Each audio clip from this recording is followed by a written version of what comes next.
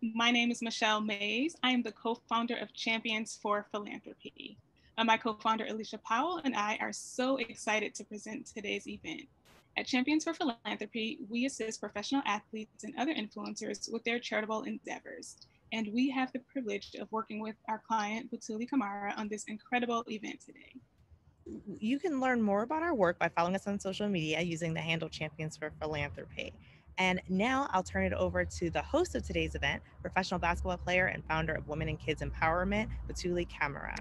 Hi, my name is Batouly Camara, and I am the founder and CEO of Women and Kids Empowerment, WAKE, and also a professional basketball player. This year, I became the first covered player in the Spanish League. I quickly realized it is not easy to be the first. I wanted to hear about the experiences of other women who had been the first in their line of work. Today, we will be with a dynamic group of women who have been the first in their field and are dedicated to not being the last. So get ready for an hour of exercise, motivation, and inspiration.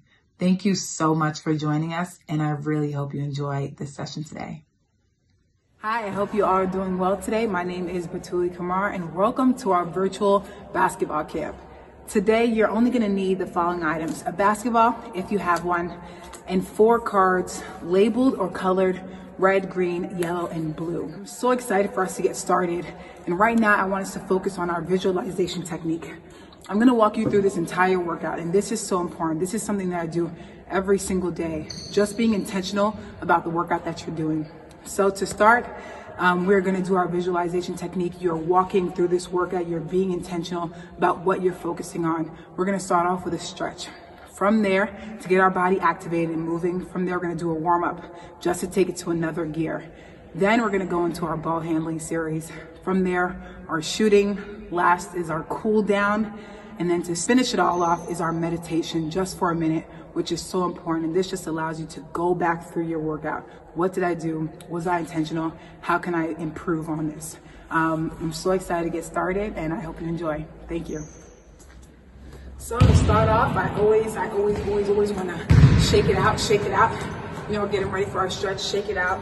From there, just getting my arms moving a little bit, moving side to side. We're gonna do each one of these for five reps. Um, not too long, just to get your body moving. Again, you can do some arm circles, right, for five. Good. From there, just getting my neck activated. You know, going both ways. Some neck rolls, always so important. We hold so much tension there.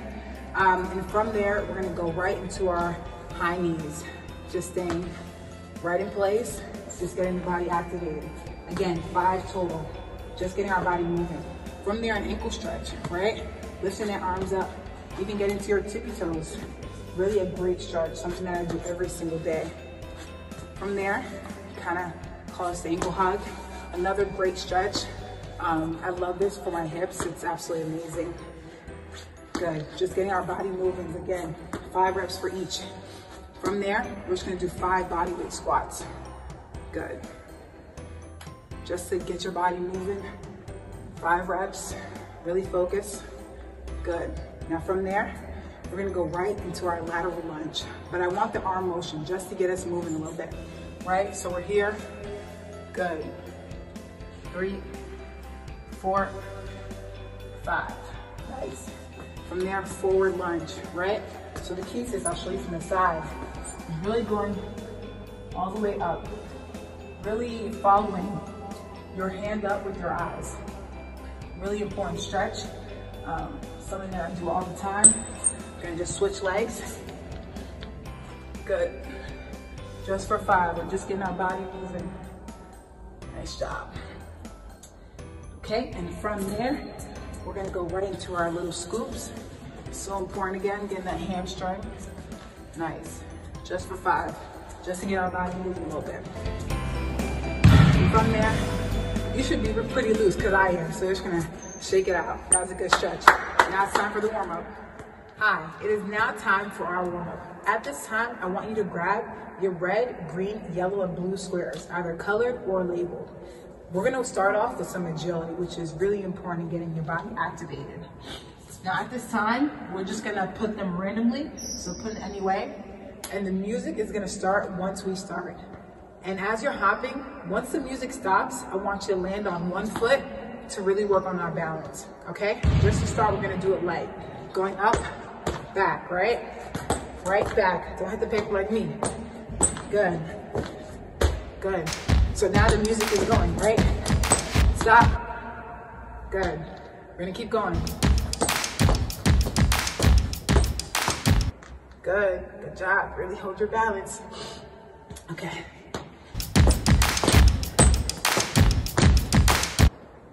Better, better. Last time.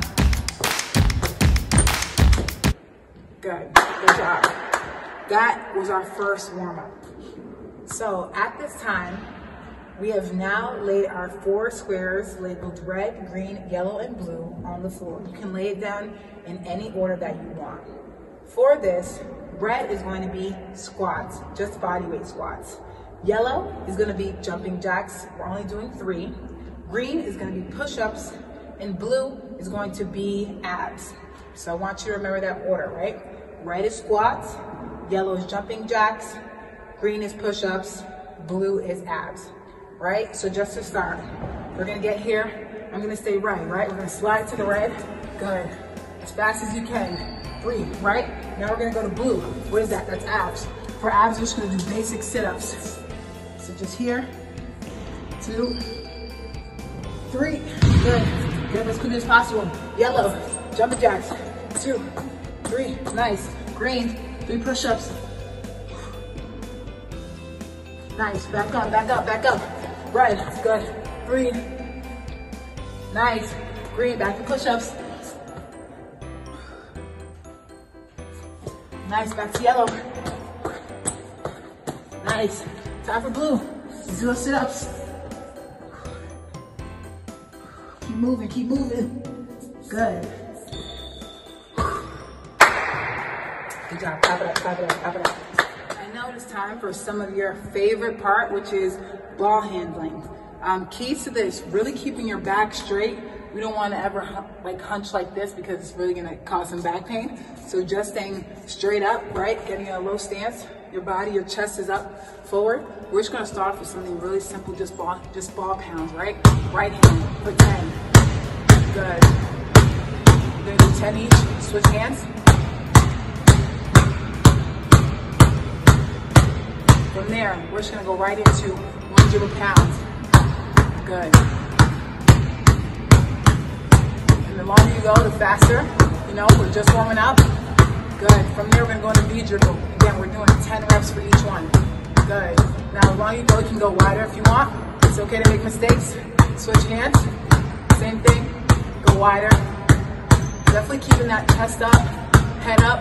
Super important. I'm really keeping that integrity. From there, we're gonna go right into Z dribbles. I actually never know this called. This might be another V dribble. But just for 10, we're just getting warmed up. Good. Switch hands. Always important to work on your left hand or your non-dominant hand. Um, but again, something that you do every single day. From there, we're just gonna stay solid, staying rooted. Just go right into scissor jerk. Good. Now right here, our focus is not to move. We're just getting a feel and control for the ball. And then from there, we're gonna go right behind the back, right? Good, for 10, super important. Keep moving with the ball. Good, nice. For 10, 10 is everything. From there, we're gonna go right into our in and out, cross, between your legs behind the back. We're gonna go to combo to finish. Again, now you're activated. You've done all these motions, right? Now you're just putting it together, right? Good. Make sure you're switching hands. Good. Nice. And as you keep going, you can start moving with it. Good. Nice, nice, nice. So again, 10 reps each for everything. Super important. Stay low, chest up, eyes up, really pound it. Um, this is something that I do every single day, and I know it'll improve your game. It is now time for our shooting portion. These are all things that you can do at home um, that really require no dribble, but so important in working on that technique. So just to start, we're gonna just lay on the ground. Um, everyone has probably done this, but just getting that ball Getting that rotation.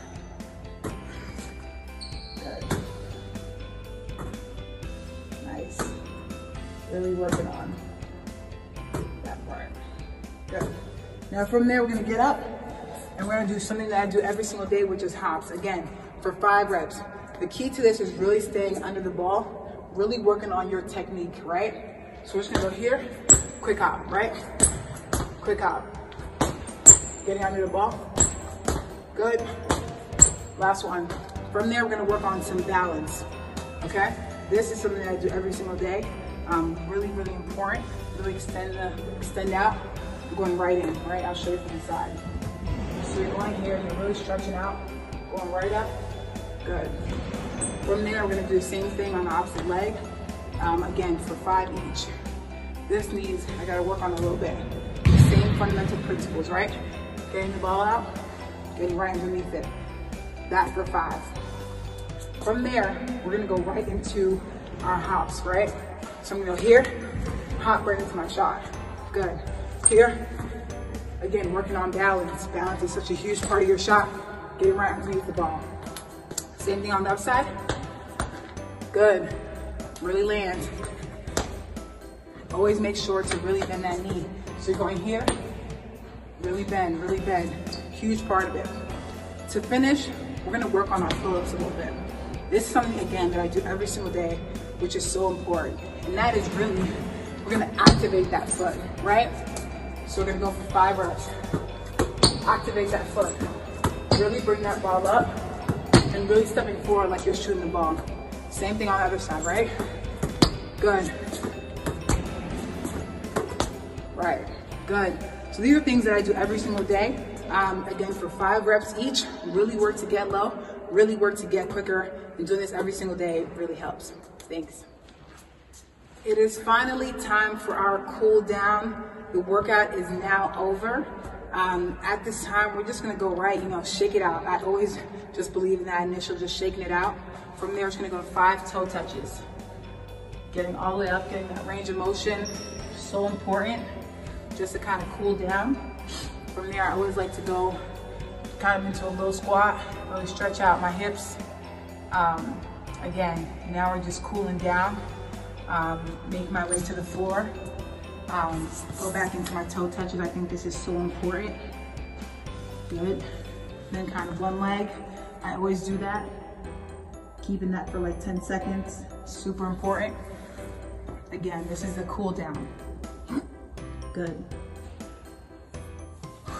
Now from here, um, we're just gonna work a little bit. I'm not that flexible, but we're gonna really work um, to meditate on what we just did. I think it's so important to really give it a minute um, to meditate, to focus. You know, what do we do? How is the workout? Where can we improve? How can we be much more intentional about the next day? Um, and I really work to do this. So we're just gonna take about, I usually do this for three minutes, but right now it's gonna take about 30 seconds um, to just really sit and think about our workout and what we want to improve on um, and really turning the page to get ready for what's next. Awesome, so I usually sit like this. This is pretty comfortable for me. Um, and just think about my workout.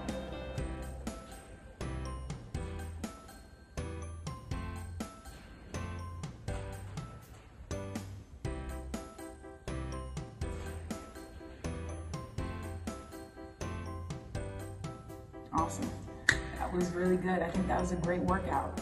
Um, and really during the meditation, it's really important to breathe. I think this was a great workout. Um, I'm so thankful to have you all here. I hope you enjoyed it. Thank you.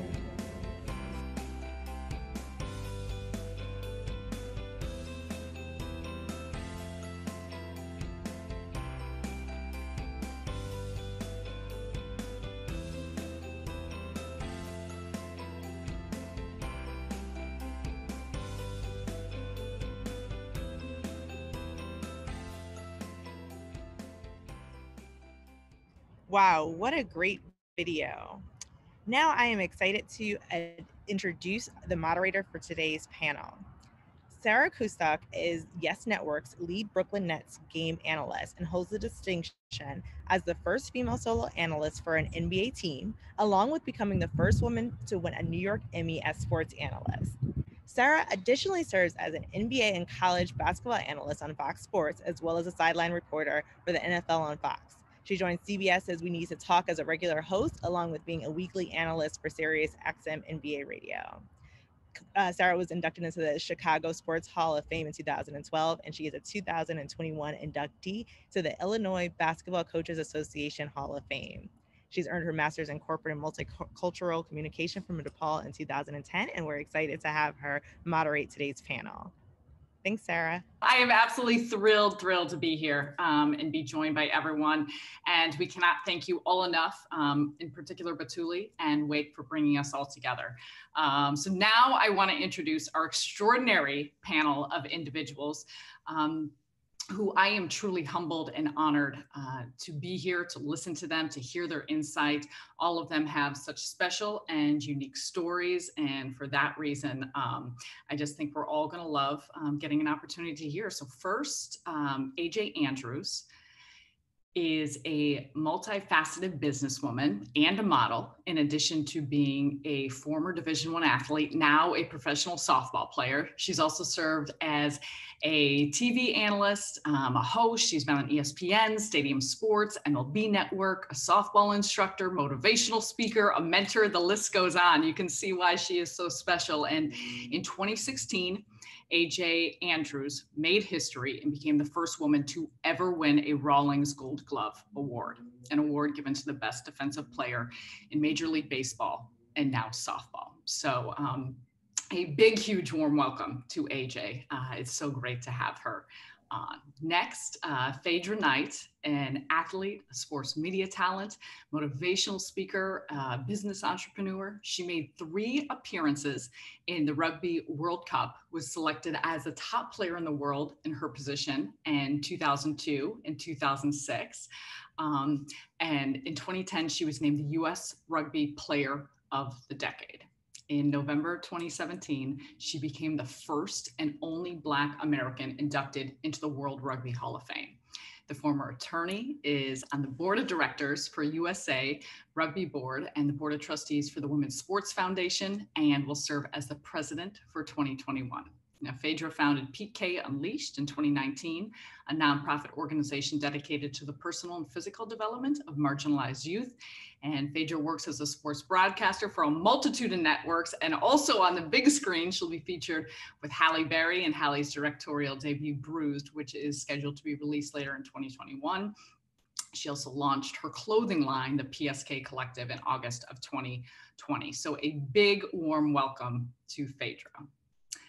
Next, we have Dr. Jen Welter. Um, and Dr. Jen Welter, the first female to coach in the NFL in the summer 2015, she served as a linebackers coach for the Arizona Cardinals and has um, long been a trailblazer when it comes to professional football. Welter was the head coach of the first Australian women's national team, the first woman to play running back in a men's professional football league with the Texas Revolution, and hired as the first female coach in men's professional football with the Revolution. Welter had a highly decorated 14 year career herself in women's professional football, um, which included four world championships, two gold medals as a member of Team USA, and eight All Star selections. She was inducted into the first class of the Women's Football Hall of Fame in November on November 30th, 2018.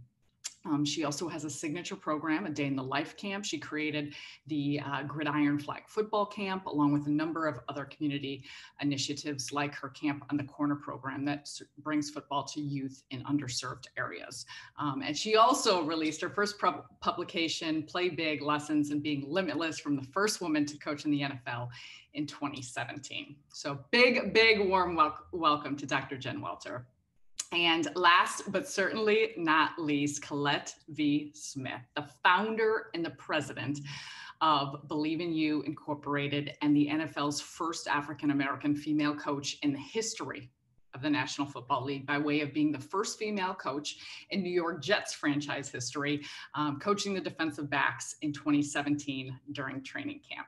Smith herself is a former women's professional football player. She was a defensive back, defensive back coach, and was the director of marketing, PR, promotions, and events for the New York Sharks in two women's professional football leagues. Collette today is an entrepreneur specializing in motivational speaking, um, recently featured in a docu-series on BET Her for their show Exceptional Black Women. She was recently honored at the Power of Influence Awards for the Year of the Woman Award. Um, and just I, I have to say of course a another warm welcome to colette um, but to all of you females and women and individuals being first in your profession i had to shorten those bios um, for everyone listening because you have all accomplished so much and i know it's only the beginning of so much more that you have aspirations to do so with that being said um, and Collette, I'm going to start with you, but I want to hear this from everyone because I said some of the highlights of your careers. As I said, it certainly is not the only thing,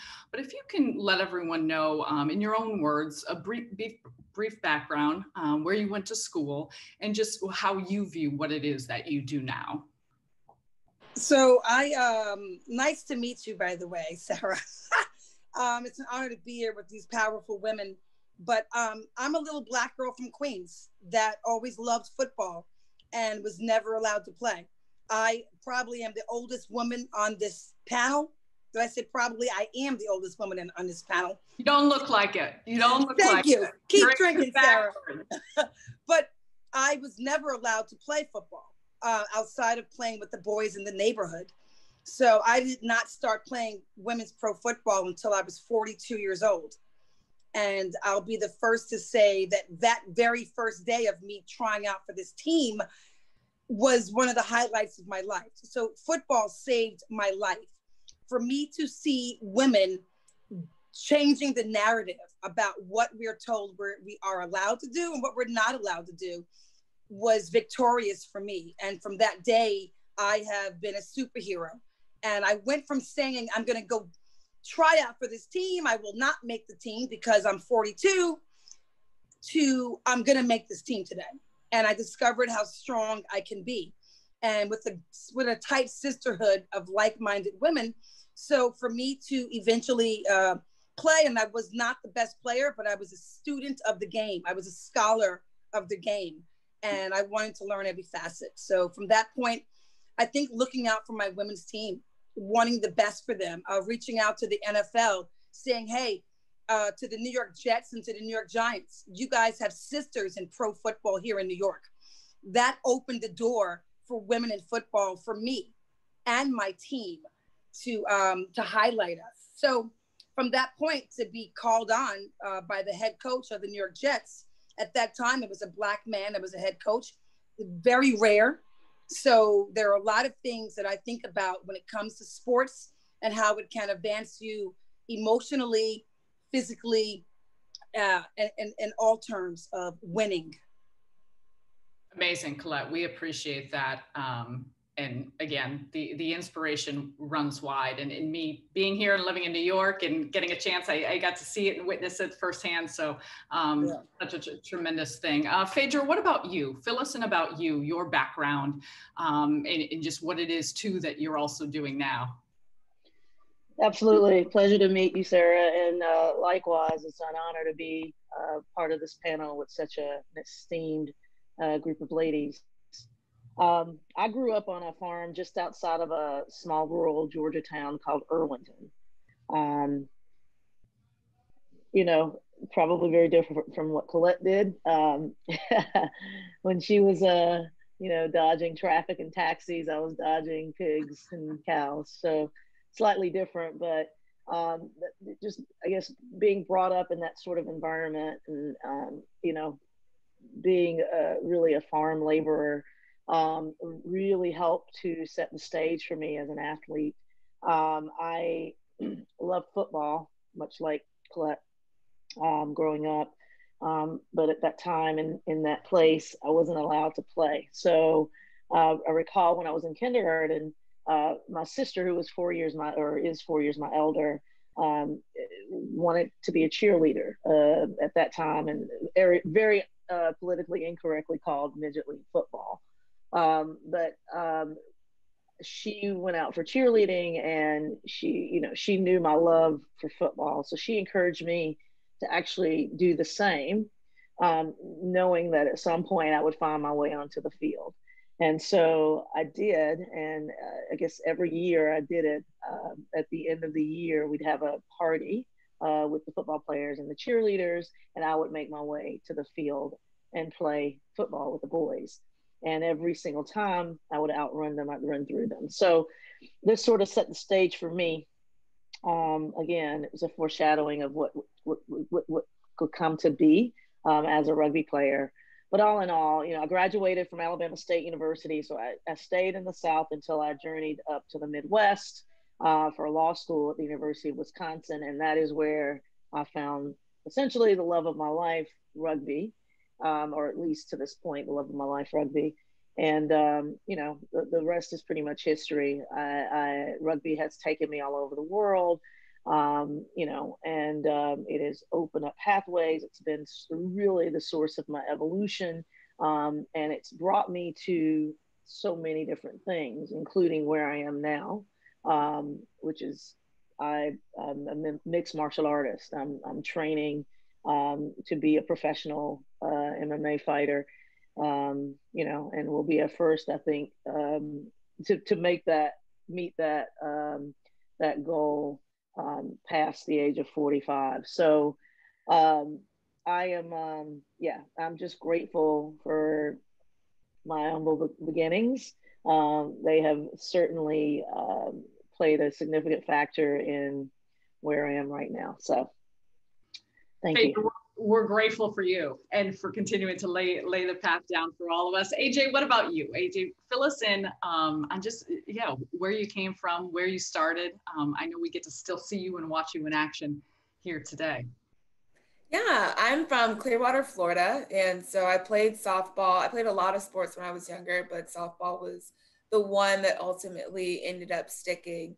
And for me, I was always extremely motivated to do more with the sport, being that in the sport of softball, I'm the only, typically the only Black athlete on the team, if not one of maybe two. And so for me, I really only had one idol growing up, and that was Natasha Watley because she was the only one that I saw, the only one that I got to see on a major stage playing softball. And so when Natasha retired, for me, it felt like that was my role to step into because I knew the impact that she had on my life. And I don't know if softball would have been the sport that stuck if had I not had her to look up to. And so for me, throughout my college career at LSU, I truly felt the need to be that person to truly inspire or at least motivate girls of color, whether you're Black, brown, whatever it is, to feel as if you are worthy and that there is this place for you and that you belong and that no one can tell you otherwise. And so moving forward throughout my career from college to professional softball, it only intensified meeting so many different people telling me how I'm their favorite player, even after some of my worst games coming up and telling me that. And it had nothing to do other than the fact that they saw themselves in me and they had this belief that they could excel because they saw me on the field doing so. And so that just really, from my career to the success that I've had and the different things that I've been able to achieve, my main focus and main goal is to continue to inspire and just to give these young women a belief really that they are able to achieve whatever it is that they set their minds to regardless of the boundaries and if they're the only ones. And i think us on this panel being the first have been those trailblazers to give so many people that motivation of you can too. And so for me that's really what i feel honored to be able to do throughout my career. You got to see it to be it. It's it's tremendous. It's been tremendous watching. So thank you aj for being here. Um, and Jen, welcome. Uh, fantastic to see you.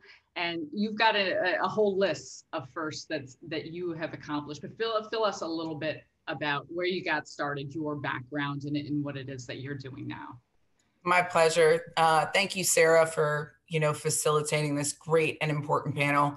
The first thing I want to tell all of you watching is the coolest thing about today for me is is that this is like a big family reunion. Like when I was seeing all the people on the panel, I could connect dots to each one of them. And they are all fabulous, fierce trailblazer blazers who we do complementary things and yet you know, like I'll pull inspiration from something. Like AJ and I got to work together on the East Bay Conquer campaign. Phaedra, um, she inspired me. I was a rugby player before a football player. And Collette obviously has been, you know, a mover and shaker in football and somebody that, you know, I got to see that happen and, and be a part of hearing what, what was going to happen before the world knew right? Like and i'm like what? You better go right? Like and and so like for all of us in it you have to realize that like we see and pull from each other. So to be able to share with you is so beautiful.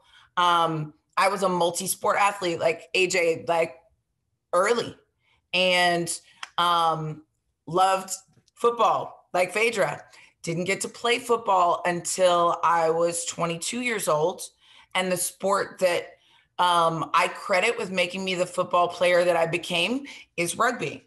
So Phaidra was an inspiration to so many of us in rugby um, to look at and see this striking, I mean, tough player. And then when I went into football, they used to tell me I tackled wrong, and I was like, "Well, I don't miss any." And now look at them; they all want a rugby style tackle. So I was doing it before it was in vogue. Um, but what was so important, and I think any one of us would tell you, is that it's it's passion, right? It's passion and finding the place in this crazy world where you can be magic. I always said at five foot two, that's right. I know I played with the boys, but I'm still the, even one of the smaller girls.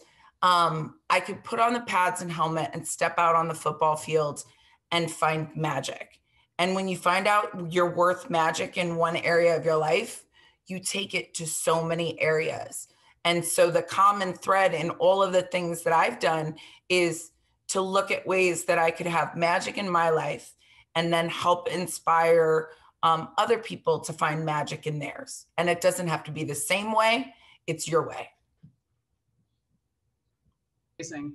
Amazing. Jen, thank you. You're getting us all, we're, we're getting all fired up here on a Saturday. Oh, yeah, we should be. I, I mean, uh, I, I, know I've seen Agent play. She can tackle too. We can all tackle on this panel. So we might as well just have the common thread of we will tackle the world. So it's fine. That, that's, that's a good line. That's a good line. AJ, um, tell us what it was like to be when, you were learned that you were going to be honored with that first Rawlings Gold Glove Award. What did that mean to you? Yeah, you know, it's really interesting thinking back on it because I remember being it being announced that they were going to be giving out the Rawlings Gold Glove Award, and I thought it was going to be just some hybrid award, just some women's Gold Glove, right? Something other than the actual Gold Glove they give to give to the men, and so I wasn't really that excited. And for me, it's so interesting because I never played for praise, right? I never do the things that I did in order to get the recognition. I did it because that's who I am. I make these plays because I don't want anyone to win. I don't want a ball to drop if it comes anywhere in my vicinity. And so, but hearing about the award, I was just like, oh, well, that's cool.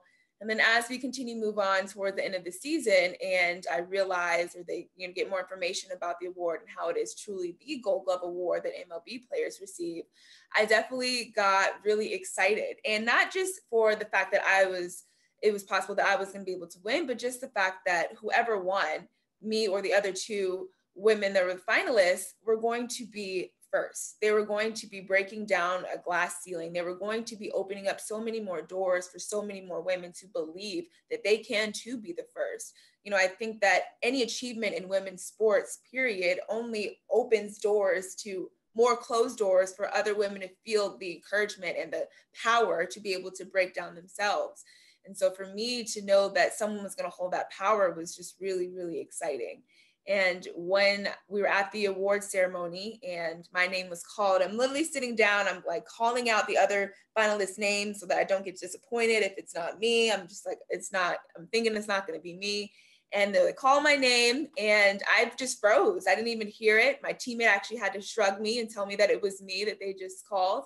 And so getting up there and going to receive the award, for me, it was just such a powerful moment and not only because I was the first, right? Whether uh, X amount of women that win the gold glove after me, I will always be the first. I'll always be that person that kind of shattered that glass for everyone. but to be also a black woman that was able to win this award i just think it just showed no boundaries to what is truly achievable for everyone in the sport of softball and that you don't have to look a certain way or be a certain way in order to be successful if you go out and you do everything you do as who you are as a player people will recognize and people will want to praise that and so, you know, for me, it was just an exciting to kind of break down that word impossible, right? Before I won the award, 2016, it was impossible for a woman to win a Gold Glove Award. And for me, the honor to be able to turn to turn that impossible declaration into a dare is what I feel is the most exciting and powerful aspect of that to be able to look at young girls today and say, no, right now, this may not seem like something you can do, but you can be the person to break that. And so that to me is the weight of that and how much it means to me. Extraordinary. Extraordinary, extraordinary. Congratulations again, AJ and Phaidra. I, I want to ask the same thing to you um, because twi- twice you're named the best player in the world at your position. You were the first um, player, or you were named to the U.S. Rugby Player of the Decade, but then you become the first and only Black American to be inducted into the World Rugby Hall of Fame. What was that like for you? Oh my! I was um, I was actually in shock. Um, you know, I had literally retired. I was named to the um, World Hall of Fame, World Rugby Hall of Fame in 2017, the fall of 2017, and um, I had I had taken a hiatus from rugby for several years. I came back. I played. Um, I, went out to Chula Vista to train as a, a 40 year old um, with a bunch of 20 year olds for the Olympic team. I didn't make the cut, and um, at that point, I was still, you know, deliberating. What, what do I? Am I done? You're right. So um, I decided to to take take my chances and go for uh, my fourth Rugby World Cup in 15s, which would be the following year, um, 2017.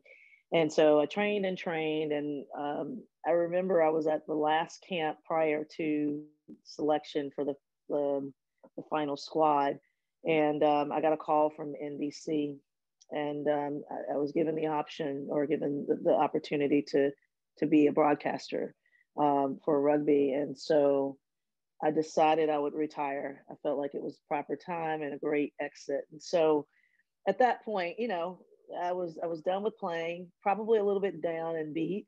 And then I get a notification that I was um, had been selected uh, to the World Rugby Hall of Fame. And at that point, there were there had been only one, and still there's only only, only one other American that was inducted into the World Rugby Hall of Fame, and that was Patty Jervey uh, very de- deservingly so.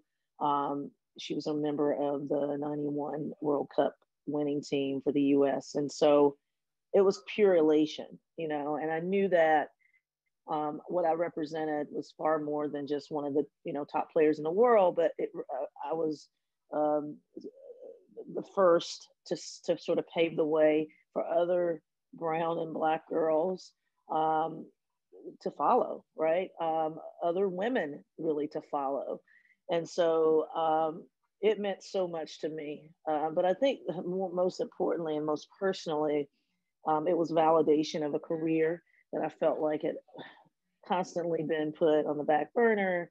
Um, you know, women's rugby, you know, has always sort of been the stepchild and not given the attention much like all women's sports or most women's sports.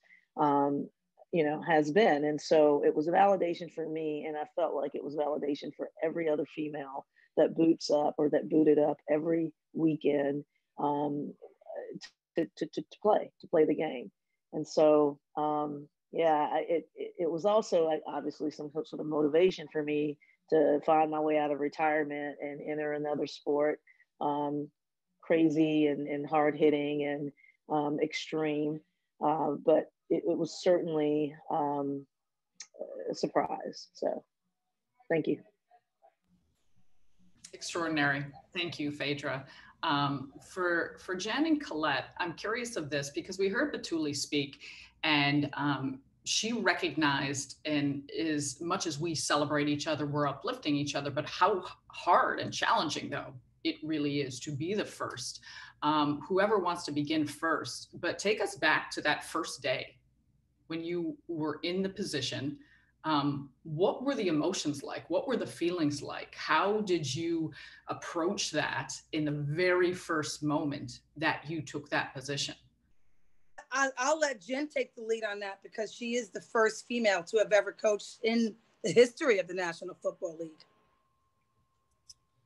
You know, it, and thank you, Collette. Um, and her even saying that, like, that's the importance of it, right? It, we kicked it off and said the importance of the first is to ensure that you're not the last. I remember the most interesting thing to me is that people didn't ask, you know, can Jen Welter do this, right? It's not, can this particular woman do it? Because at that time, the sample size is one. So the question was like, could a woman coach men in the National Football League, right? And you're there in that you know that there are people who want the answer to be no, right? That they would like the door to remain closed. And so whenever I would, you know, feel scared or like I might not have enough or um, maybe that I I was over my skis, as you have it said. Like I would think of my sisters in football and what all of us went through. And that's where I always pulled my courage is like, you know, I have an I have an army with me. They don't know it yet, but we know it. And so it was like this crazy mix of nervousness and excitement. And I'm thankful that the first guy I literally almost like ran into because I was turning a corner was Calais Campbell. And so if you guys don't know Calais, he's amazing and he's ginormous. He's like six foot seven. And I turn the corner and I pretty much like at five foot two run into like his belly button. And I hear this giant booming voice like, Coach Jen, I've been looking forward to meeting you. And I was like, Hi, Calais. I played against a woman your size once. And he's like, No, you didn't. And I was like, I did. And I showed him a picture of Team Germany. And he was like, Coach, that she's a big woman. And I was like, I know. And we just kind of started talking football. And I think that that's the greatest thing about it is that, like, it might seem so foreign, but I'd been in football for so long. It's like for me, the sound the second I heard pads popping, I was like, oh, honey, I'm home. Like, this is it. And the guys were really excited to be a part of history.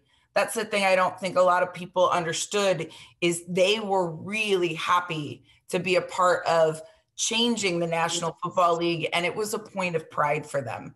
And I couldn't have asked for, you know, better relationships to them and them to be great champions and then literally a sport full of women and beyond who had my back. So uh, you know i had an army thankfully and, and collette's one of those people.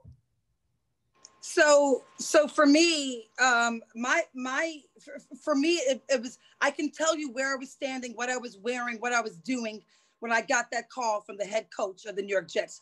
I didn't come through I didn't have an army, right? So for me, I was alone. I was totally alone. I didn't have an army. It was all, it was, what am I doing? What's going on? I was happy. I was excited. I was thinking about this in a way to elevate women, to to raise my standard, to raise other girls' standards. And, you know, um, it was terrifying. It, it, it was terrifying when I when I played football the very first time when you're on that football field and you're in full pads and it is time to hit. And I was like, oh Lord. And then that first hit, I was like, oh my God, it was invigorating. It was the most amazing thing in the world. So at that point, I had a superhero cape on.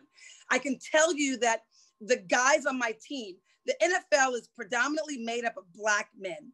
So for them to see a Black woman on that field and these guys telling me, Coach, I have daughters. I never thought about my daughter being an athlete, let alone a football player. So thank you. This was, I mean, to, to get letters in the mail from little black girls from from low income neighborhoods saying, I now have more dreams. Thank you so much. Um, that turned me into uh, a, a forever fighter for myself and for others, you know. And for me, I'm a five time rape survivor. And I speak about it as often as I can because today I'm a survivor. I'm not a victim. And I found my power, and I found my power through, through sports. For me, my sport of choice was football. And how funny is it that the sport that I loved to play was a sport I was not allowed to play because of my gender, because of oppression.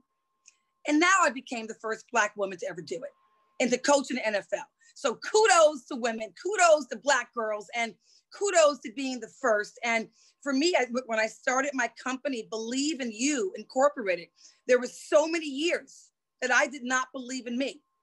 Way too many years. And I still fight with those moments today because you're going to have support from people sometimes, and sometimes you're not going to. Because for me, I look at this as not a competition unless we're on the field together. If we are on the field together and you're the other team, I'm coming for you. Outside of that, we should all be a family, you know? And so surrounding myself with people that love and support each other and want to grow everybody. I can sit up here and tell you that, you know, there there were a lot of hardships, but overcoming them is the most beautiful part. So um, it is an honor. It is a great honor to me to be amongst all these firsts, all these powerful women, and and to keep it going, to keep the torch lit. You know, we're raising our standards. We're not taking no for an answer. We're bringing hammers and jackhammers with us to continue breaking ceilings, no matter what they look like, glass or concrete. Let's go. Game on. I'm calling you Coach Collette because that's that's that's a pep talk. Uh, we are shouting and hollering and, and screaming cheering right here with you, Collette. I, I love that. But you talked about those moments, and to to everyone listening, uh, we have a few more minutes of questions, but make sure you're putting your your questions um, in the chat for the panelists because we're going to get to Q and A in about five minutes. Um, but you had moments that maybe there are times that you have doubt or uncertainty. AJ, this is this is for you because I know you spoke about ways in which you inspire um, young women, girls, the youth everywhere, and, and we see it and and we watch you. Um, but what do you say to some of the, young girls out there that may have moments of having doubt or being discouraged, and, and how they find that sense of confidence or inspiration in themselves? Yeah, I think it talk it's all about milestones and I think it's about celebrating yourself, right? You have to be your own biggest fan when it comes to that. And confidence isn't something when you see someone is confident, right? It's not something that they just all of a sudden had or woke up with. I think of confidence just as hard work as you put in into your sport, right? It's every single day you have to build up that confidence because you could have all this confidence and one comment, one person can be enough to tear that back down, right? And so you have to build yourself up enough to where that you can't be torn down. Every morning you're telling yourself, this is who I am. This is what I'm going to accomplish. This is what I have accomplished. Look at where I've come to look to where I am now. I deserve everything that is taking place. And it just comes down to building up every milestone. Today, I want to get 1% better, right? Today, I want to achieve this. Once you achieve that, you feel good, right? Set, set short, maybe small milestones. Then tomorrow, something a little bit bigger. You achieve that, you feel like you're unstoppable and then you keep going. And that's how your confidence continues to build. And that's how when you hear negative comments or you hear people telling you what you can and can't do it just becomes is naysay. You're not worried about it because you know what you've been able to achieve. You know that you're able to achieve one more thing the next thing the next thing. These people haven't been on this journey with you and they don't know what you're capable of and so when you're trying to build up that confidence, just seek 1% better every single day and tell yourself every single day who you are. Remind yourself of who you are. If ever I have a bad day, I just tell myself, I just didn't show up that day. That wasn't AJ, right? That is no reflection of who I am as a person or my talent on the field. I didn't show up. Tomorrow I will show up and it will be a different day. And I think that that's just how you continue to move forward, continue to maintain that confidence, and also continue to build that up to a point where no one and nothing is going to be able to break it down. Beautiful, beautiful sentiments and advice, AJ. I'm taking notes to write that down to remember that. I have one more um, for Phaidra, and then we're going to um, get to some of the questions uh, from uh, those of you joining us. When you see we heard Batouly talk about it. Um, we we heard uh, the Vice President-elect Kamala Harris say this. Um, AJ had mentioned it. The, the the concept of yeah, the concept of you may be the first, but make sure that you are not the last. Um, and it's not just in your professions, but I think for all of us, when we see other females being the first in different areas, it, it feels like a win and a celebration for all of us. So when you see the recent accomplishments of Kim Ng or Sarah Fuller, Katie Sowers, Natalie Portman, Beth Mo, the, the list goes on. And it's a beautiful thing that the list continues to grow. Phaidra, put in perspective how that affects you and how that impacts you, having been one of these people that's, that's laying down the pavement here for all of us. Uh, when I hear these these first, right, and like you said, everyone on this panel is one of those people, folks you just named, Katie Sowers, Sarah Fuller, Kim Ng. Um, it's a call to action, really, for me, because it means that oh, we have tons of you know we have tons of work to do. Um, it brief celebration, you know, for actually breaking through that ceiling, but now there's the work, you know, that needs to be done to bring others to this place not only to bring them to this place by you know extending your hand down and pulling them up but also now um, catapulting them to your shoulders so that they can climb and have others do the same. Um, you know when when i win we all win. When you win we all win. And that's the mentality that we have to own. There's enough of the big old precious pie for all of us to have. All that we want. Abundance is you know what it what it is right and so there's plenty and i think we have to um, get out of because as, a, as athletes right it's in our nature to be competitive. It's in our nature to want to be the one the, the best.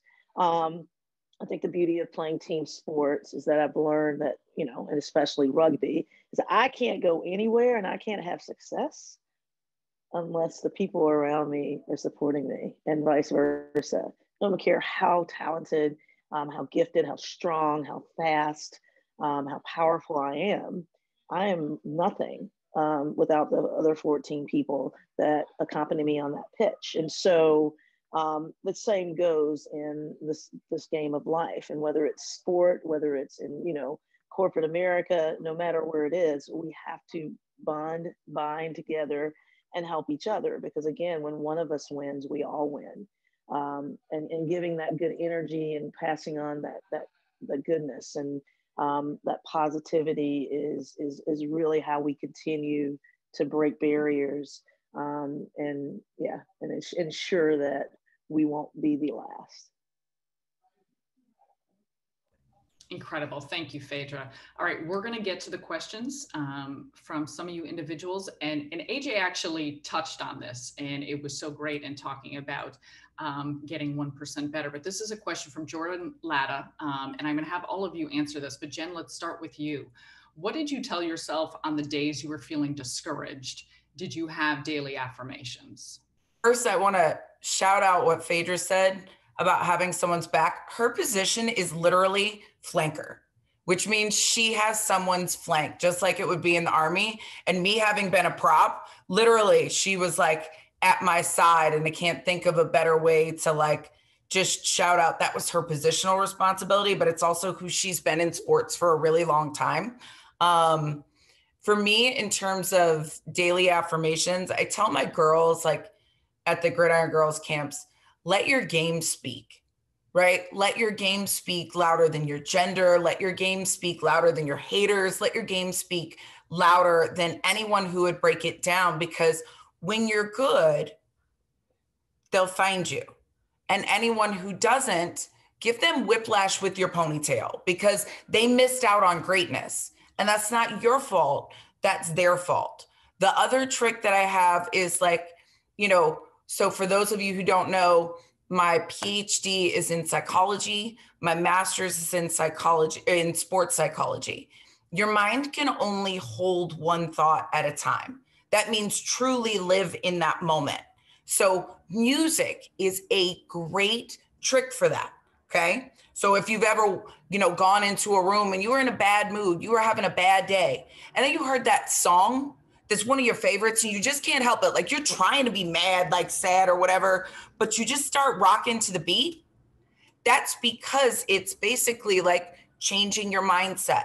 So give yourself a playlist. Athletes often do this, you know, instinctively. You see us with our headsets on and it takes us to somewhere else. Do that in life, right? Create a playlist for your life, put on the song that you need to when you're not feeling it, and allow that mu- music to transform you into the superhero that Collette mentioned, or that, you know, that wasn't AJ. I don't, I don't know who that person was who had a bad game today. She does not define me. I'm right here, right now, and this is who I am through it. But allow music to help you do it. Extraordinary advice. Collette, what about you? My, I, I tell my, I, I have a daily affirmation. Some days I use it several times a day because other days are worse than others. And I tell myself, get up, girl. Get up, girl. You're worthy. Get up, girl. You got this. Get up, girl. There's no one like you. Get up, girl. God got you. Get up, girl. Just do it. So I hype myself up to the point where forget about writing that email to the president of whatever company. I'm now doing push ups, you know, and squats before I send an email out. Uh, so for me, daily affirmation is something that I live by. I also go back and I read letters from children letters from children when I when I visited when I visit schools, I get stacks of letters from kids. They say, "Thank you so much for coming to my school. I feel important now." They make me cry when I read them, but I'm so happy because I can't give up on my people. That's what I do. Absolutely love it. Love it, Collette. Um, AJ, is there anything you wanted to add? I know you filled us in a little bit about your moments. Anything you wanted to add to some of the things? Um, if you have moments of, of feeling discouraged or any other daily affirmations? Yeah, I mean, I think you just have to know who you are. And to Jen's point, right, be so good that they can't ignore you.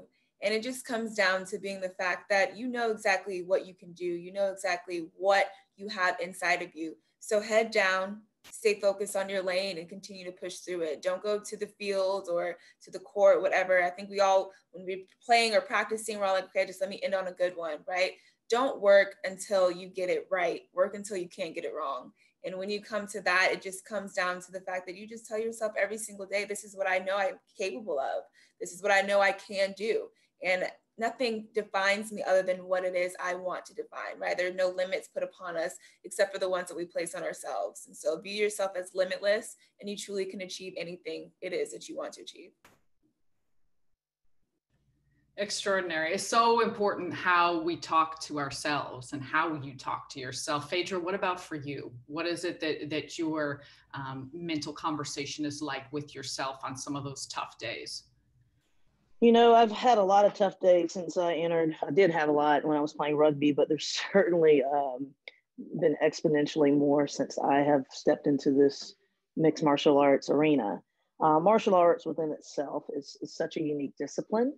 And um, you, you can count on, no matter how talented, no matter how athletic you are, the, um, the amount of detail that is required in order to be efficient um, and to expend minimal energy, which is essentially what you want to do, especially when you're 46 years old and you're trying this mess, um, is, is so critical. And so um, on those days that I have those down days, you know, I, I'm actually happy. I actually come into the academy looking for, looking to get discouraged because in those moments is when I absolutely must find, um, dig deep, and refocus. And, and, those are the most challenging times, obviously. What it also what it adds though is on those on those days, I guess it adds perspective, right? Um, you can't really know the significance of the sun if you don't have the thunderstorms and the rain to to to give you that appreciation. And um, and so for me, you know, I guess you know it's it's something that I I welcome I embrace. Um, it's a part of life. Um, and, and on those days that I show up and I'm not, um, you know, 100%, uh, you know, I, I, I'm okay with that, right? I'm okay with that being Phaidra because that's a part of who I am and that's a part of the journey that's going to get me to the place that I want to be, right? A world champion. And so um, it, it's, it's, um, you know, it's just continuing to put one foot forward. I think what's also critically important is surrounding yourself with people that are going to push you and that are going to push you out of those comfort that comfort zone um, and push you through those moments when you are discouraged. Um, that is so important, and so um, it's it's you know continuing to persevere on my own, but also making sure that the people that I'm with are pushing me um, in the most uncomfortable times to get through it.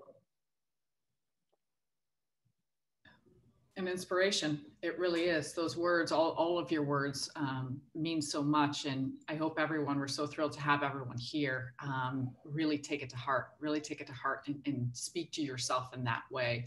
Um, we have one more final question uh, for everyone. I'm going to start, um, Jen, with you on this one. Do you have any advice uh, for girls in high school who want to play collegiately or professionally? to um, those that aspire to keep playing, what, what would your advice be for those girls? Yeah. So, first thing I'm going to say is when I, you know, we we're we're now in a time, thankfully, where there has been huge excitement and and visibility around like Sarah Fuller recently kicking. Um, it it's not always been that way in the history of football. Um, when I played, um, when I was the first woman to play men's pro football in a in a contact position, the excitement was not the same. Um, it was, and it was every day for a year. You know, literally getting getting the hits, right? Like I was a running back, and it's indoors, so there's no running out of bounds, right?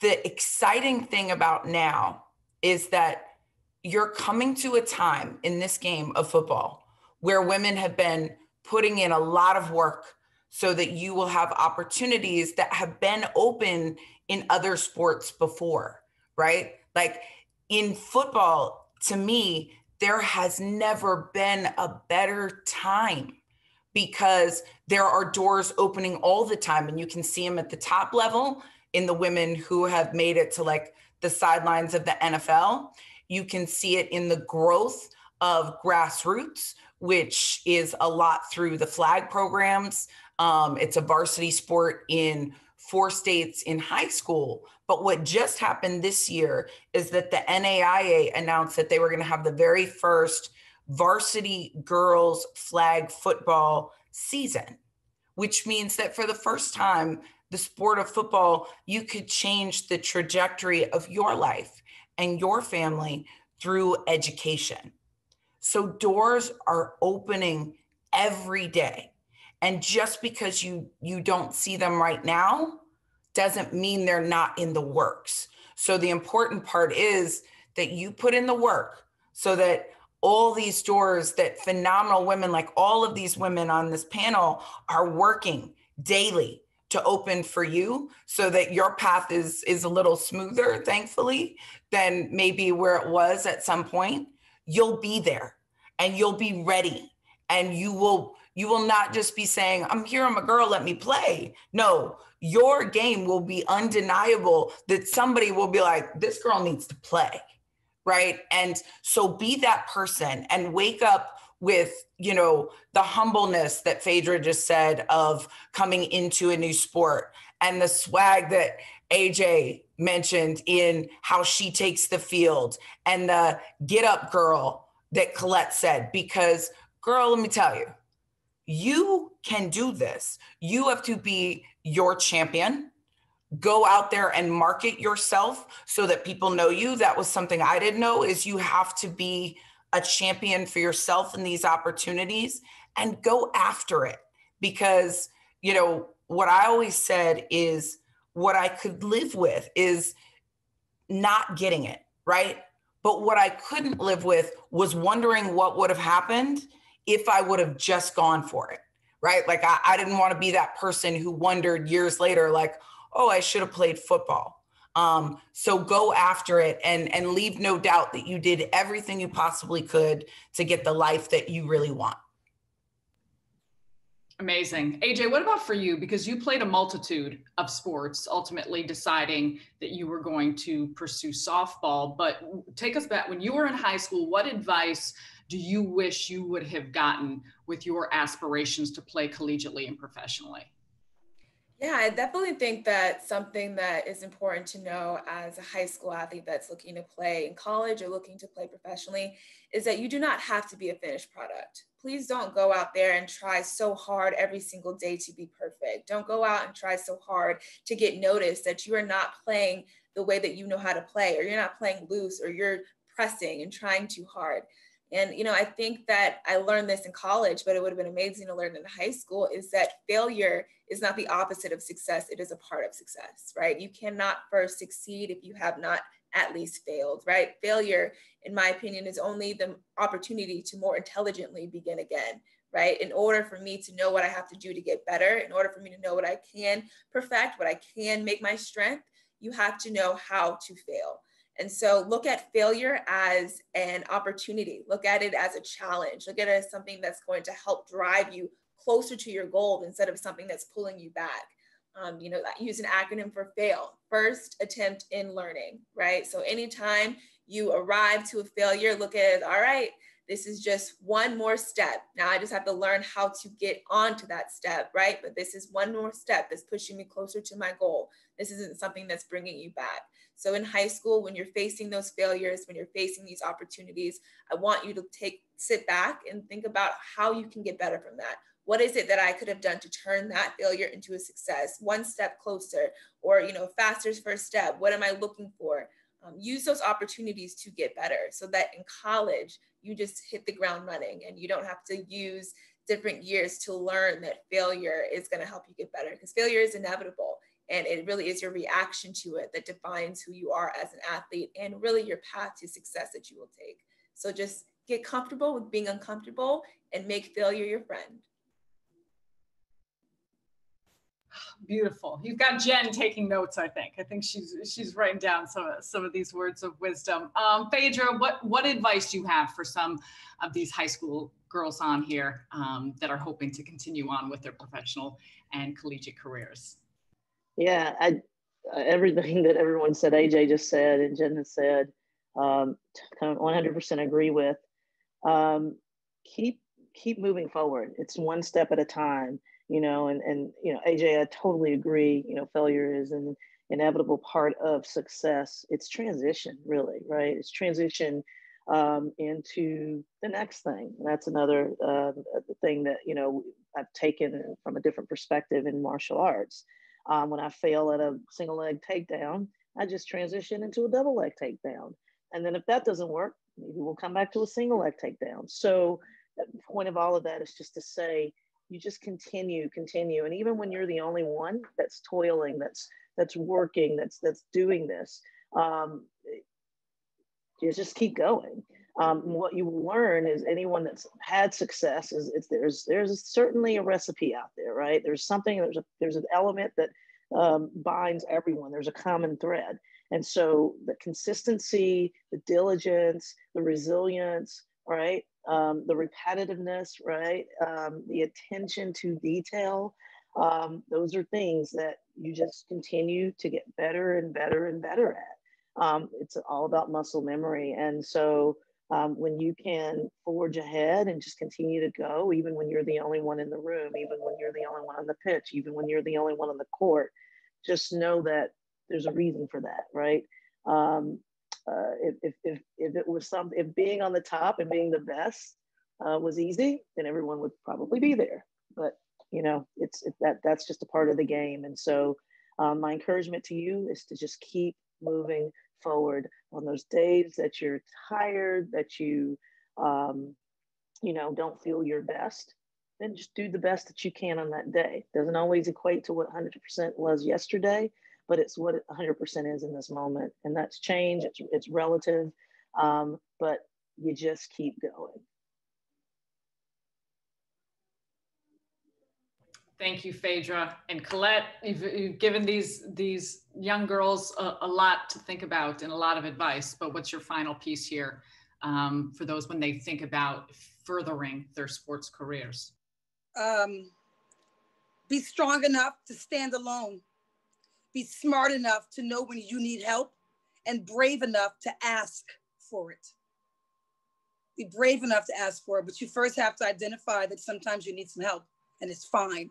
It's fine to ask. So be smart enough to, to, to know when you need that help. Um, live by a code, a code of where nobody practices to be a backup, right?